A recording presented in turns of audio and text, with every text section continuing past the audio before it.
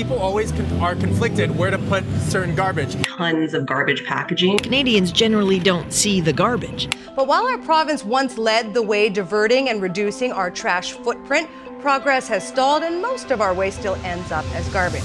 Did you know in Ontario we generate nearly one ton of waste per person annually?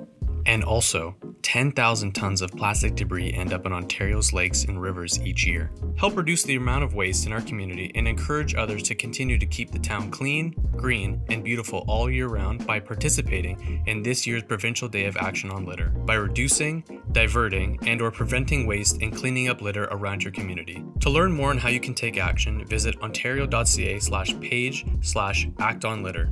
Together, we can work towards a cleaner, greener future for generations to come.